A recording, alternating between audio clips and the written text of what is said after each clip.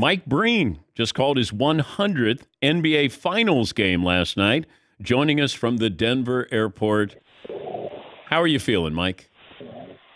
Well, every time I come here, this is one of the most extraordinary places in the entire world, the Denver airport. Ooh. The, the magnitude of the, of the, the place, the amount of people, yet somehow it works. I, I, I can't understand it. It really is. It's one of the great wonders of the world. This place. All right. Well, thank you, Mike. That's all we wanted to know. We appreciate your time as always. Great to talk to you, Dana. We'll talk soon. Uh, if I, uh, at what point did you realize, like we had two teams that didn't want, they wanted to be underdogs here, but I don't think you guys didn't treat either one as an underdog. And I talked to Jeff Van Gundy about this, but did you feel like there was an underdog feel to these two teams in the finals? Not in the finals. I, I thought Denver was an underdog team despite having the best record in the West through most of the Western playoffs uh, just in the perception, because they still had to prove that they they were ready to do that. Uh, but in the finals, after what they did to the Lakers, um, then they were they were no longer underdogs. Miami certainly was, because you look at their roster, um, and I mean it's it's such an admirable team to root for, and they play so hard, and you know the phrase that Eric's supposed to keep using, the competitive spirit uh, makes you admire them so much. But they were they were definitely the underdog in that in the finals. What's it say about the sport? That's the fifth different champion we've had in the last five years. I think it's great. Um, you know, we all love the David and Goliath stories when when one team is dominant and, and we're rooting for somebody to knock them off their perch. But when you go into a, a playoff series, and I can't remember the last time I felt that um, there were this many teams that had a chance to make the finals. It's just it's just great. The unpredictability of this year made it one of my favorite seasons, just because you didn't know. And even the elite teams, they all had small margins for error, and you normally don't say that about the elite teams.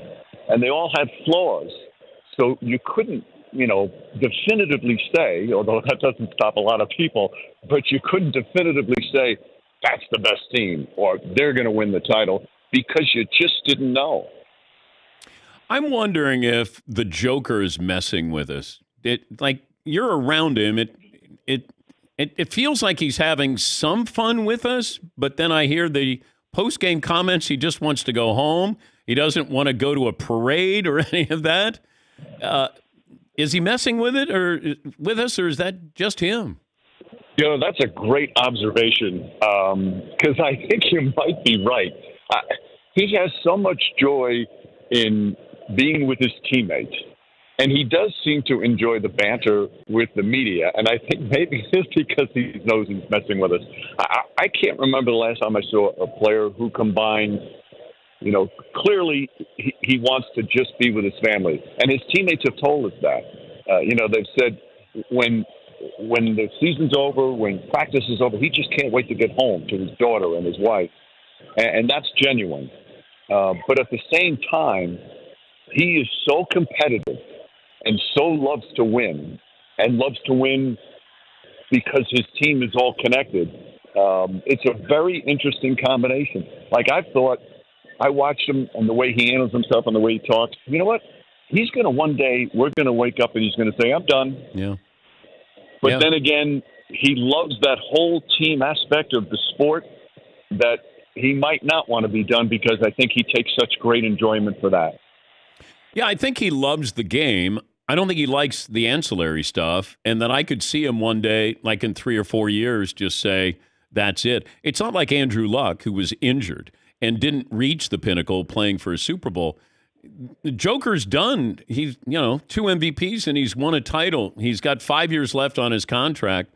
I wouldn't be surprised if he walked away after that. We're talking to Mike Breen, ESPN, ABC, NBA play by play voice. The first time you said bang was when and where did it come from? On the air or off the air? Oh, okay.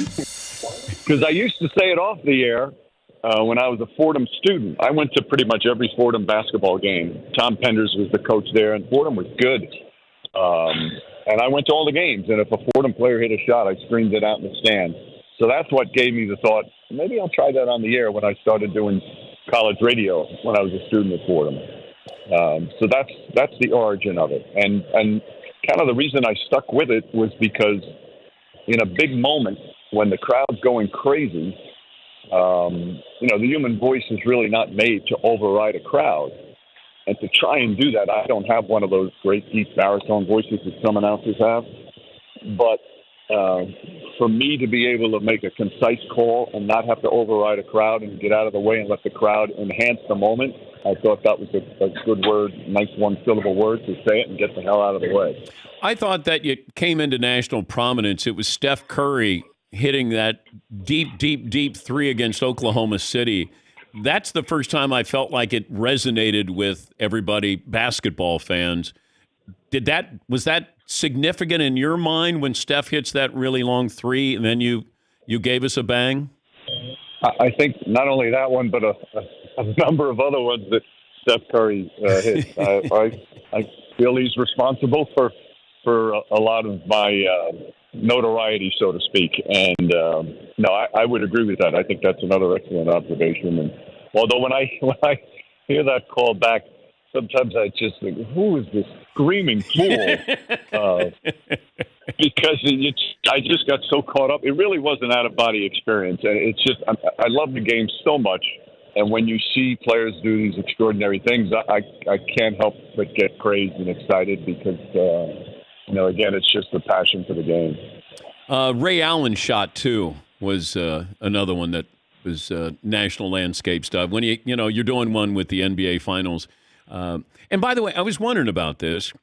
If you had a shooting contest with you, Mark Jackson, and Jeff Van Gundy, I think I'm taking you. Well, it depends on the range. I have I don't have three point range, but I'm, I'll stand up to anybody from 17 feet and in of those two. Now Jeff is sneaky good, sneaky good, and of course, uh, from what I understand, Mark was a player at some point. um, no, I, all three. If you asked the three of us, yeah, who would win? All three of us would say, "Oh, I'd win." All three. This uh, might be. This actually might be a good thing to do. A contest to finally settle it once and for all. I would call it, and I would, uh, you know, whoever hit the game winner, of course, I would yell out, "Bang!" I'll do it. I will have to get on this. We'll you, have to get on this. This could be this could be something interesting. Did you get to take part in the celebration last night? Um, I, I feel I did by just sitting there. Uh, we were all saying after the game. Now, you know, we've had the, uh, the great fortune of being around a lot and seeing a lot of these championship celebrations. That that was one of my favorites.